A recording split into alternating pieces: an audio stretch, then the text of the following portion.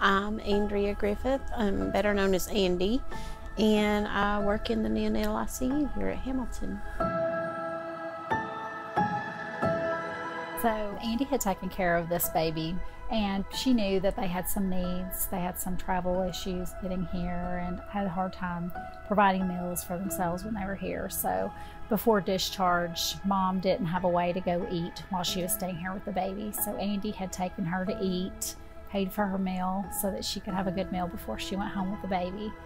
And then after they were discharged, it was close to Christmas time. So Andy wanted to go check on them and take them some gifts for the baby. And when she got there, the older sibling was talking about how she had a party the next day at school and she didn't have anything to take to school.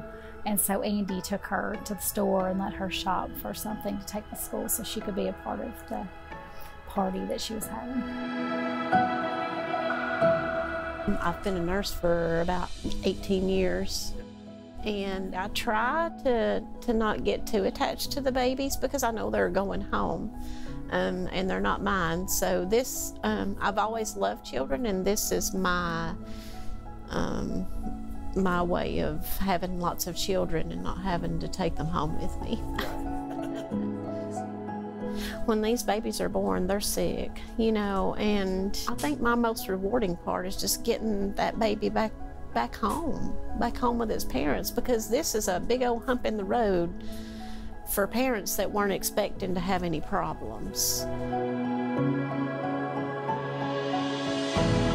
We save lives here just like any other nursing department and I love getting those babies better and sending them home with their parents.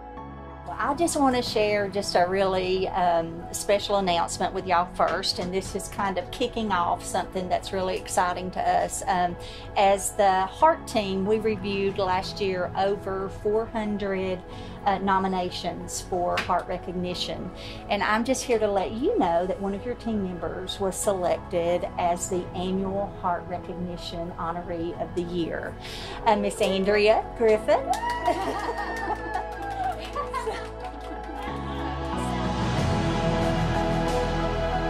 but she really has a special bond with especially the micro preemies and um, does really good care for them.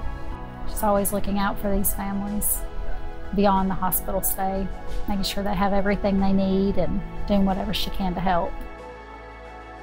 I was so surprised. Um, well, this is one of my little babies that I did actually get attached to. I just fell in love with her. You know, I mean, maybe she'll be a nurse someday.